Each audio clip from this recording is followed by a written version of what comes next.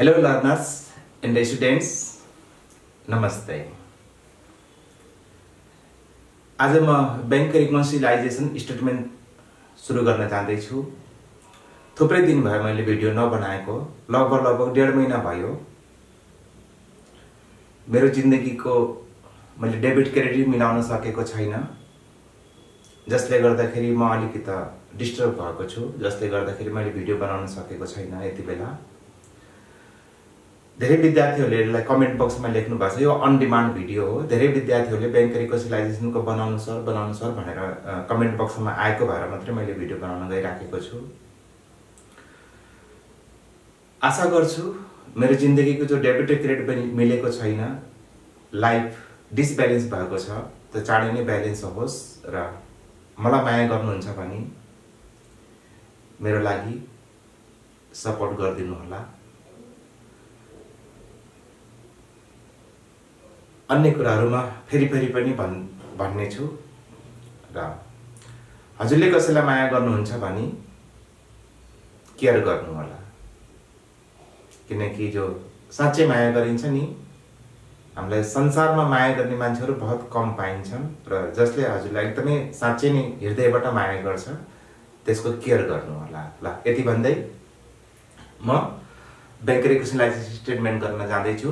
यो अलिकति टेक्निकल विषय छ।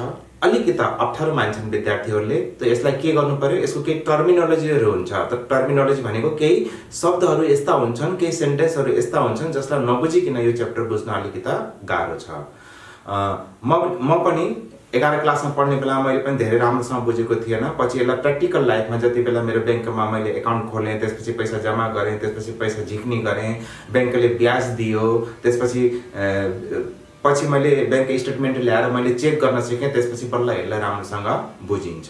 त त्यही भएर के गर्ने हो? यो अलिकति टेक्निकल भिडियो छ। त्यही भएर यसलाई राम्रोसँग हेर्नु होला तिन चार पटक हेर्नु होला। हेरेर पहिला रुल बुझ्नु होला। यसको मैले लगभग लगभग पाँचवटा भिडियो बनाउने छु। एउटा रुलको हुनेछ त्यसपछि चारवटा क्वेसनको र यति भन्दै सबभन्दा पहिला अब हामी कम्प्युटर स्क्रिनतिर जाउँ। Explain of some major adjustment केही मुख्य समायोजनहरूको व्याख्या। विद्यार्थीहरू जति बेला हामीले ब्याङ्क रिकन्सिलाइजेसन स्टेटमेन्ट अर्थात् ब्याङ्क समाधान विवरण बनाइन्छ यो धेरै विद्यार्थीलाई बुझ्न गाह्रो हुन्छ। किनकि विद्यार्थीले न त ब्याङ्कमा पैसा जम्मा गरेको हुन्छ न ब्याङ्कबाट पैसा झिकेको हुन्छ न उसले कहिले स्टेटमेन्ट ल्याएर चेक गरेको हुन्छ।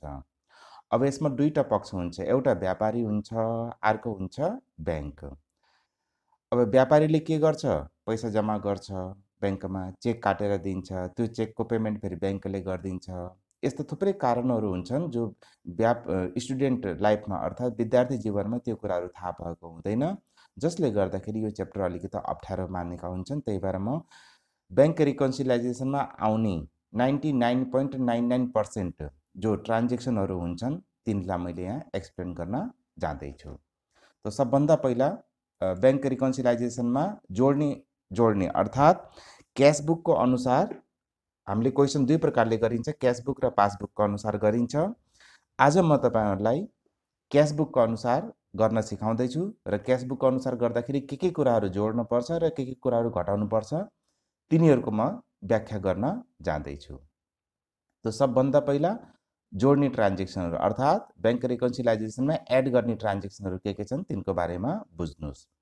क्वेसन यसरी आएको हुन्छ cheque issued or drawn to creditors but not presented for payment only paid by bank. अब यहाँ क्वेसन कसरी आउँछ त्यो दिनु। Cheque issued but not presented for payment यसरी आएको हुन्छ क्वेसनमा। नेपालीमा भन्दाखेरि साहुलाई चेक जारी गर्यो तर भुक्तानीको लागि चेक प्रस्तुत भएन अर्थात् ब्याङ्कले भुक्तान गरेन।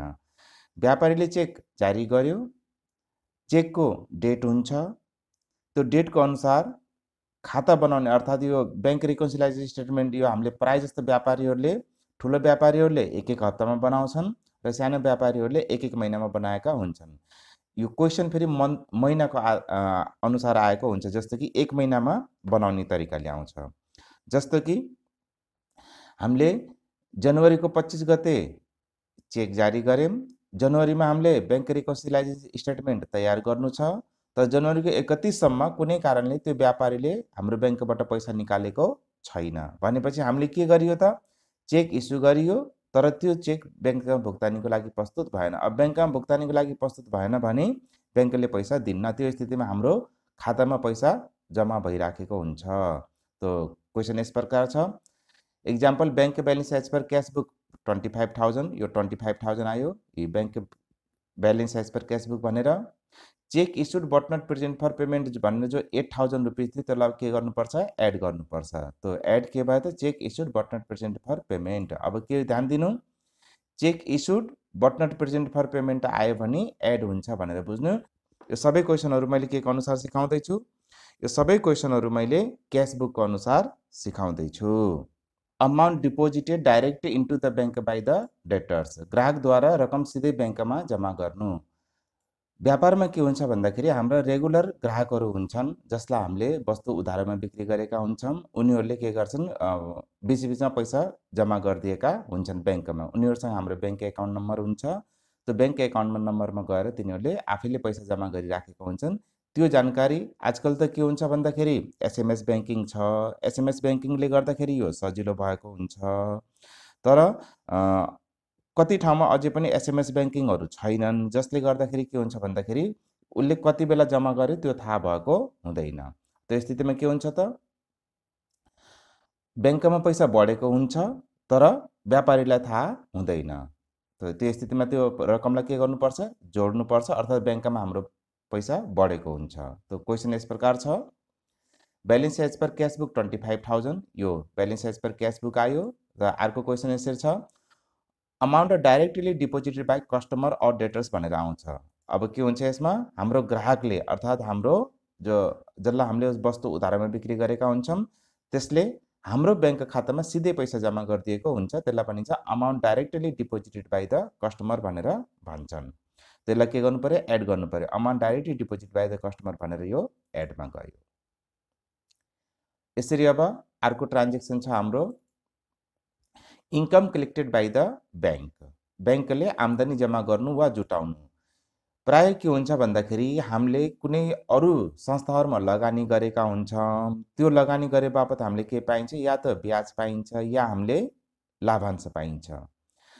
अब थुप्रै ठाउँमा के हुन्छ भन्दाखेरि त्यो ब्याङ्कमा जम्मा गरिदिने सिस्टम हुन्छ। हामीले ब्याङ्क एकाउन्ट नम्बर दियौँ भने त्यो सिधै पैसा जो हाम्रो आम्दानी हुन्छ त्यसलाई ब्याङ्क खातामा हालिदिन्छ नि त ब्याङ्क खातामा हाल्ने बित्तिकै के भयो त? हामीले हाम्रो पैसा ब्याङ्कमा बढेको हुन्छ। त्यो स्थितिमा के भयो त? यो पैसा जुड्छ अर्थात् हामीसँग पैसा बढ्छ। त्यो क्वेसन यस प्रकार छ। Balance as per cash book twenty five thousand. यो balance as per cash book आयो ट्वेन्टी फाइभ थाउजन्ड। त्यसपछि छ dividend collected by bank but not recorded in cash book rupees three thousand. अब के हुन्छ भने ब्याङ्कमा लाभांश आइसकेको छ। त्यो क्यास बुकमा हामीलाई अझैसम्म जानकारी भएको छैन। त भनेपछि के भयो त? Dividend collected by bank but not recorded in cash भनेर तिन हजार रुपियाँ यो हाम्रो एडमा आयो। अर्थात् हामी हामीसँग पैसा बढ्यो। अर्को छ interest on bank deposit interest allowed credit by bank अर्थात् ब्याङ्कले जम्मामा ब्याज दियो। अर्थात् जो जम्मा रकम हुन्छ ब्याङ्कमा हामीले जो ज, ज रकम जम्मा गरेका छौँ त्यसमा केही न केही ब्याङ्कले ब्याज दिइराखेको हुन्छ। त त्यसलाई के हुन्छ? हाम्रो आम्दानी भयो। व्यापारिक अनुसार के भयो त यो? आम्दानी भयो। अब यस्तो आम्दानी के हुन्छ ब्याङ्कले त? क्रेडिटमा हामीलाई गरिदिएको हुन्छ जम्मा गरिदिएको हुन्छ। हामीलाई जानकारी भएको हुँदैन। त्यो क्वेसन यस प्रकार छ। Balance size per cash book twenty five thousand. यो balance size per cash book आयो ट्वेन्टी फाइभ थाउजन्ड एडमा जान्छ। त्यसपछि भयो इन्ट्रेस्ट अलाउड बाई ब्याङ्क या क्रेडिटेड बाई ब्याङ्क भनेर क्वेसनमा आउँछ। यो दुईवटा मध्ये कुनै एउटा सेन्टेन्स आउँछ त्यसलाई राम्रोसँग विचार गर्ने। त्यो के भयो त यो? एडमा गर्ने भयो। ए इन्ट्रेस्ट अलाउड या क्रेडिटेड बाई ब्याङ्क भनेर वान थाउजन्ड टू हन्ड्रेड यो हाम्रो एडमा गयो। अब यसरी नै अब हाम्रो अर्को ट्रान्जेक्सन छ। Issued cheque or bill return due to technical error कहिले कहिले के हुन्छ भने हामीले जुन चेक जारी गरेका छौँ त्यसमा केही गल्ती हुन्छ। गल्ती थुप्रै प्रकारका हुन्छन्। जस्तो कि त्यस हाम्रो ब्याङ्कमा पैसा जम्मा नहुन सक्छ सिग्नेचर नमि नमिलेको हुनसक्छ त्यसपछि अब पेमेन्ट स्टप्ड बाई ड्रस भनेको जसले चेक जारी गरेछ उसले हाम्रो के हुन्छ भन्दाखेरि पेमेन्ट रोकेको हुनसक्छ र चेकमा जो डेट छ त्यो छ महिनाभन्दा पुरानो हुनसक्छ या एकाउन्ट क्लोज भइसकेको हुनसक्छ या क्रसिङ इन्डर्समेन्ट भनेको हुन्छ यस्ता थुप्रै कारणहरू हुन्छ जसलाई हामीले टेक्निकल इरोर भनेर भनिन्छ। त्यस्तो कुनै पनि टेक्निकल इरोर छ भने अब के हुन्छ त्यो पै त्यो अब चेक फिर्ता आउँछ। फिर्ता आएपछि के भयो त? चेक फिर्ता आउनु भनेको हाम्रो ब्याङ्कबाट हामीले जारी गरेको चेक फिर्ता आउनु भनेको ब्याङ्कमा अब हाम्रो पैसा घट्नेवाला छैन। भनेपछि त्यो केमा भयो त? पैसा बढ्यो। क्वेसन यस प्रकार आउँछ। Balance as per cashbook twenty five thousand. यो ब्यालेन्स एज पर क्यासबुक आयो। Cheque issued of rupees seven thousand two hundred return due to technical error yeah incorrect signature. हामीले जो साइन गरेर दिएको थियौँ त्यो साइन अलिकति मिलेन जसले गर्दा ब्याङ्कले चेक भुक्तानी गरेन। त अब यो एडमा जाने भयो। Issued cheque return due to incorrect signature भनेर सेभेन थाउजन्ड टू हन्ड्रेड यो हाम्रो एडमा जाने भयो। Wrong credit is given by bank कहिले कहिले के हुन्छ भन्दाखेरि अब गल्ती त हुन्छ प्रायः त यस्तो गल्ती हुँदैन आजकल तर फेरि पनि कहीँ गल्ती हुन सक्छ।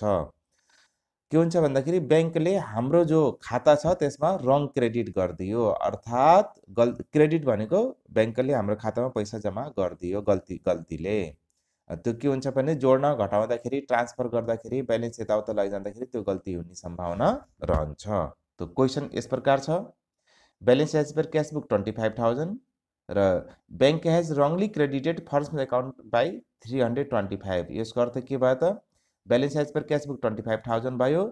ब्याङ्कले हाम्रो खाता हाम्रो संस्थाको खातामा तिन सय पच्चिस रुपियाँ गल्तीले क्रेडिट गरिदियो। गल्तीले क्रेडिट क्रेडिट भन्ने बित्तिकै ब्याङ्कले क्रेडिट गर्यो भनेको मतलब हाम्रो पैसा बढ्यो। त्यही भएर एडमा गयो। Wrong credit recorded by bank भनेर three hundred twenty five rupees यसरी आयो। अर्को पोइन्ट छ हामीसँग under cast total in credit yeah payment side of the bank column of the cashbook व्यापारीले ब्याङ्क खाताको क्रेडिट साइडमा थोरै रकम लेखेको। अर्थात् व्यापारीले जुन ब्याङ्क खाता बनाएको हुन्छ ब्याङ्क जस्तै कि double single column cashbook double column cashbook triple column cashbook जो हामीले पढेका थियौँ डबल कलम क्यासबुकको क्यास र ब्याङ्कको खातामा के गरिदियो भन्दाखेरि उसले ब्याङ्क कलममा उसले के गरिदियो त पैसा थोरै लेखेको छ। अब त्यो स्थितिमा के हुन्छ? Balance as per cashbook twenty five thousand यो क्वेसनमा छ। Under cast of the credit side of the cashbook. One thousand five hundred fifty अब यसलाई के गर्नुपर्छ? एड गर्नुपर्छ। त balance size per cashbook ton twenty five thousand आयो। Under cast of credit side of the cashbook under cast भन्यो भने क्यासबुकमा under caste credit साइडमा भन्यो भने के गर्नुपर्छ त्यसलाई? एड गर्नुपर्छ one thousand five hundred fifty यसरी यी भए मुख्य एड हुने ट्रान्जेक्सनहरू अब हामी जानु पर्यो डिडक्ट अर्थात् लेस हुने ट्रान्जेक्सनतिर जानु पर्यो।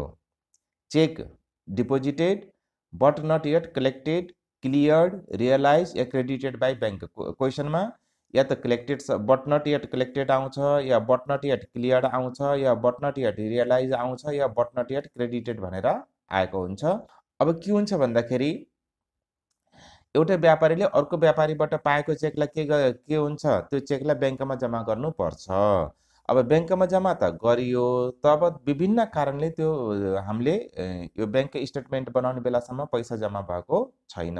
सपोज गरौँ जनवरी अठाइस गते हामीले चेक जम्मा गऱ्यौँ अरू अरू व्यापारीबाट पाएको हामीले चेक ब्याङ्कमा जम्मा गऱ्यौँ अब जनवरी एकतिससम्म के भएछ भने अझैसम्म त्यो पैसा आएको छैन। अब के गर्नु पऱ्यो त पैसा आयो भने त एड हुने भयो पैसा आएन भने त्यो लेस हुने भयो। अर्थात् cheque deposited but not yet collected भन्यो भने क्वेसनमा अब त्यसलाई के गर्नुपर्छ? क्यासबुक अनुसार लेस गर्नुपर्छ।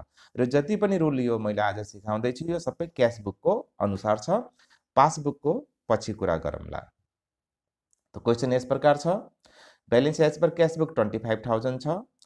Cheque deposited but not credited by bank seven thousand five hundred छ। अब यसलाई के गर्नुपर्छ त? लेसमा लेख्नुपर्छ। Cheque deposited but not collected by bank भनेर सेभेन थाउजन्ड फाइभ हन्ड्रेड यो लेसको ट्रान्जेक्सन हो। यसरी नै अब हामीसँग अर्को ट्रान्जेक्सन छ।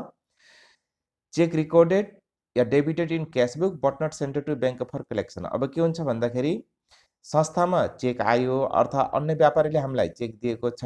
अब त्यो चेकलाई हामीले के गर्यौँ ब्याङ्क क्यासबुकमा पनि लेख्यौँ तर ब्याङ्कमा जम्मा गरेका छैनौँ ब्याङ्कमा जम्मा गरेको भए पो पैसा आउँछ त। अब ब्याङ्कमा जम्मा गरेनौँ हामीले ब्याङ्कको ब्याङ्क क्यासबुकमा हामीले लेख्यौँ लेखेपछि के भयो त? हामीलाई पैसा आए जस्तो भयो तर त्यो चेक जम्मा गरेका छैनौँ।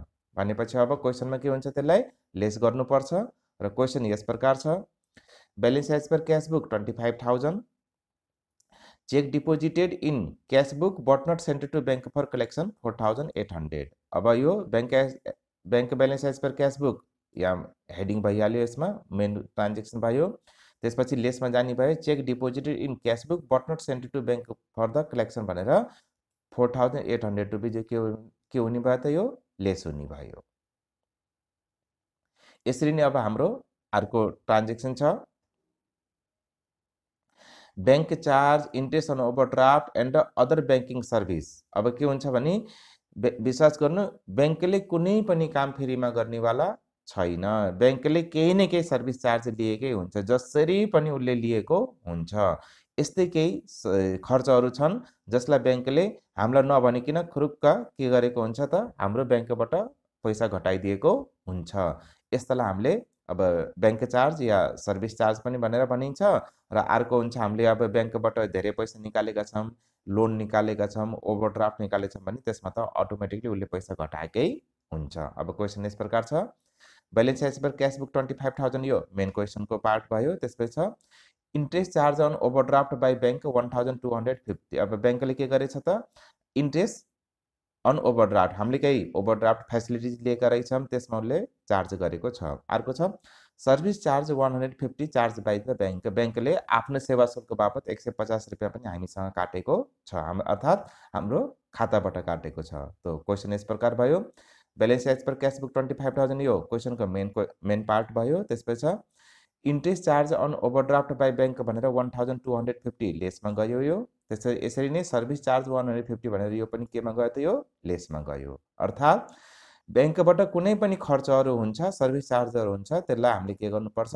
घटाउनुपर्छ क्यासबुकको अनुसार। फेरि ध्यान दिने यो क्वेसन सबै क्यासबुकको अनुसार भइराखेको छ। अब अर्को पोइन्ट छ expenses paid by bank directly. अब के हुन्छ भन्दाखेरि ब्याङ्कलाई यदि हामीले यो आदेश दिन्छौँ कि मेरो इन्सुरेन्स प्रिमियमहरू तिर्देऊ मेरो बिजुलीको बिल तिर्देऊ मेरो पानीको बिल तिर्देऊ यो स्थितिमा के हुन्छ? ब्याङ्कले हामीले त्यो हाम्रो जस्तो कि बिजुलीको बिल छ भने बिजुलीको अब जो हाम्रो हुन्छ एउटा कस्टमर नम्बर हुन्छ त्यो नम्बर हामीले दिनुपर्छ। पानीको पनि के हुन्छ हामीलाई? पानीको हाम्रो कस्टमर आइडी नम्बर हुन्छ त्यो नम्बर दिनुपर्छ। यसरी नै व्यापारीको छोराछोरीको स्कुलको फी पनि ब्याङ्कले तिर्दिन्छ। छोराछोरीको नाम यो हो र यो स्कुलमा पढ्छन् यति क्लासमा पढ्छन् यो सेक्सनमा पढ्छन् भनेर दियो भने के हुन्छ? ब्याङ्कले खुरुखुरु आफैले तिर्दिएको हुन्छ। त्यो स्थितिमा के हुन्छ? ब्याङ्कबाट पैसा घटेको हुन्छ व्यापारीलाई थाहा भएको हुँदैन। अब के गर्नु पऱ्यो त? यी सबै खर्चहरूलाई अब हामीले के गर्नुपर्छ? घटाउनु पर्छ। त्यो क्वेसन यस प्रकार छ bank balance as per cashbook twenty five thousand यो क्वेसनको मेन पार्ट भयो। ब्यालेन्स एज पर क्यासबुक भनेर आयो ट्वेन्टी फाइभ थाउजन्ड त्यसपछि insurance premium paid by bank भनेर सात हजार रुपियाँ। अब हामीले के भनेको ब्याङ्कलाई? हाम्रो इन्सुरेन्स प्रिमियम तिर्दियो भनेपछि अब ब्याङ्कले हामीलाई हाम्रो प्रिमियम तिर्दिएको हुन्छ। त्यो insurance premium paid by bank seven thousand लेसमा गयो यो। यसरी नै electricity pay city bill paid by bank one thousand five hundred र ब्याङ्कले हाम्रो बिजुलीको बिल पनि तिरेको छ एक हजार पाँच सय रुपियाँको। अर्थात् यो खर्चहरू हुन् खर्चहरू क्यासबुक अनुसार लेसमा जान्छ। Dishonour of bill or cheque अब के के भयो भन्दाखेरि हामीले जुन चेक इस्यु गरेका थियौँ त्यो डिसअनर भयो। अर्थात् हाम्रो विभिन्न कारणले डिसअनर भयो। डिसअनर भएपछि के गर्नुपर्छ? त्यसलाई घटाउनु पर्छ अब क्वेसनमा छ ब्यालेन्स एज पर क्यासबुक यो। क्वेसनको मेन पार्ट भइहाल्यो। मेन पार्ट भयो यो। ट्वेन्टी फाइभ थाउजन्ड भयो। Dishonoured bill rupees fifteen thousand was discounted bill of rupees fifteen thousand was dishonour भनेर भने अर्थात् जुन बिल हामीले डिस्काउन्टेड गराएको थियौँ अर्थात् हामीले जारी गरेको जो हामीले जो बिल ब्याङ्कबाट डिस्काउन्टेड भनेको पैसा निकालेका थियौँ त्यो बिल अब के भयो त? डिसअनर भयो। त्यो स्थितिमा अब के गर्नु पऱ्यो त? घटाउनु पर्छ। Balance as per cashbook twenty five thousand यो क्वेसनको मेन पार्ट भयो। डिस्काउन्टेड बिल डिसअनर लेसमा गयो र चेक डिसअनर पनि कहाँ गयो त यो लेसमा गयो। रङ डेबिट इज गिभेन या रिकर्डेड बाई द ब्याङ्क कहिले कहिले के हुन्छ भने ब्याङ्कले हाम्रो खातामा रङ डेबिट गरेको हुन्छ। रङ डेबिट भनेको पैसा घटाएको हुन्छ। ब्याङ्कले डेबिट गर्नु भनेको पैसा घटाउनु हो ब्याङ्कले क्रेडिट गर्नु भनेको पैसा बढाउनु हो। त क्वेसन यस प्रकार छ। Balance as per cash book twenty five thousand यो क्वेसनको मेन पार्ट भइहाल्यो। त्यसपछि छ rupees five thousand was wrongly debited by bank भनेर भनेको छ। अब यो रङली डेबिटेडलाई के गर्नुपर्छ? क्यासबुक अनुसार घटाउनु पर्छ। त wrong debit is given by bank भनेर फाइभ थाउजन्ड यो हाम्रो घट्यो। यसरी यो हाम्रो यो घटाउने ट्रान्जेक्सनमा आयो। र यसै क्वेसनको अब अर्को पार्ट छ। अन्डरकास्ट इन टोटल टोटल या debit yeah receipt side of the bank कलम अफ द क्यास बुक अब व्यापारीले डबल कलम क्यास बुक बनाउँदाखेरि एउटा ब्याङ्कको कलम हुन्छ एउटा क्यासको कलम हुन्छ। त्यसमा के गरेको छ त? टोटल गरेको छ। टोटल गर्दाखेरि डेबिट साइडतिर अब के गरेको छ? पैसा थोरै लेखिदिएको छ। अब त्यो स्थितिमा के हुन्छ? यो पनि बुझौँ। Balance as per cash book भनेर ट्वेन्टी फाइभ थाउजन्ड यो क्वेसनको मेन पार्ट भइहाल्यो। त्यसपछि छ under cast of debit side of the cash book by rupees one thousand two hundred भनेर भनेको छ। Balance as per cash book twenty five thousand भयो। त्यसपछि छ under cast of debit side of the cash book one thousand two hundred भनेर यो घटाउनु घटाउनु पऱ्यो अर्थात् क्वेसनमा under cast of debit side of cash book भन्यो भने घट्छ के को अनुसार क्यास बुकको अनुसार यसलाई हामीले के गर्नुपर्छ? घटाउनु पर्छ। त यी थिए मुख्य एड र लेस हुने ट्रान्जेक्सनहरू क्यासबुकको अनुसार अकर्डिङ टु क्यासबुक क्यासबुक अनुसार जति पनि इन्कमहरू हुन्छ त्यसलाई एड गरिन्छ र जति पनि खर्चहरू हुन्छ त्यसलाई के गरिन्छ? लेस गरिन्छ। यो कुराहरू ध्यानमा राख्नु पर्यो। इन्ट्रेस्ट अन इन्भेस्टमेन्ट भनेको इन्कम हो। इन्कमलाई एड गरिन्छ। इन्ट्रेस्ट अन लोन या डिभेन्चर या ओभरड्राफ्ट भन्यो भने के हुन्छ? एक्सपेन्सिभ हुन्छ। त्यसलाई फेरि हामीले के गरिन्छ? लेस गरिन्छ। यो कुरा ध्यान राख्नु पर्यो। डेबिट इन क्यासबुक भनेको पैसा बढ्नु हो बढेपछि एड हुन्छ। क्रेडिटेड इन क्यासबुक भनेको पैसा घट्नु हो घटेपछि के हुन्छ त्यो? डिक्रिज हुन्छ अर्थात् लेस हुन्छ। क्वेसन यसमा यसरी हुन्छ। डेबिट ब्यालेन्स अफ क्यासबुक भनेको ब्यालेन्स एज पर क्यासबुक पनि हो। क्रेडिट ब्यालेन्स अफ क्यासबुक भनेको ओभरड्राफ्ट एज क्यासबुक पनि हो। यो कुराहरूलाई दिमागमा राख्ने र यति गर्दै एउटा यो फर्मेट छ यो। क्वेसनको फर्मेट छ यो। यो फर्मेटलाई राम्रोसँग याद गर्नु। यो फर्मेटलाई याद गर्नुभयो भने ninety nine point ninety nine ninety nine point nine nine percent क्वेसनको solution हुन्छ ल। अब यसलाई के गर्ने हो त? यसलाई राम्रोसँग यसलाई याद गर्नु पर्यो। ल यो bank reconciliation statement of ABC traders या संस्थाको नाम लेखिन्छ। फर द मन्थ अफ यो कुनै एक महिनाको लागि यो बनाएको हुन्छ कहिले कहिले हप्ताको लागि पनि हुन्छ तर प्रायः क्वेसन मन्थली बेसिसमा दिएको हुन्छ।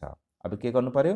जुन जुन कुरा मैले माथि एक्सप्लेन गरेको थिएँ त्यही कुराहरूलाई यहाँ के छ त? यहाँ यहाँ लेखिएको छ।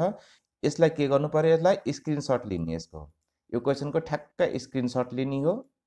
यति स्क्रिनसट लिएपछि के हुन्छ यसलाई? कुन चाहिँ एड गर्ने कुन चाहिँ लेस गर्ने ठ्याक्क थाहा हुन्छ ल। यसलाई स्क्रिनसट लिनु होला है। स्क्रिनसट लिएर यसलाई राम्रोसँग याद गर्नु होला। यति गर्नुभयो भने ninety nine point nine nine percent question solution हुन्छ। भिडियो हेर्नुभएकोमा धेरै धेरै धन्यवाद।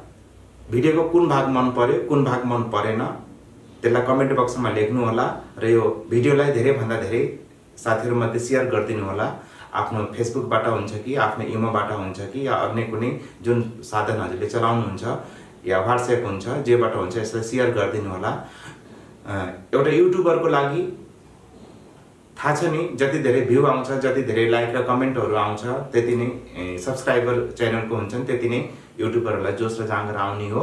र थाहा छ? हजुरहरूले पैसा तिर्नु पर्दैन। हामीलाई पैसा पाउने भनेको हामीलाई गुगलले दिन्छ। जो विज्ञापन आउँछ त्यो विज्ञापन अनुसार हामीले पैसा पाउने हो। लाइक र कमेन्ट र सब्सक्राइब अनुसार पैसा हामीले पाइँदैन।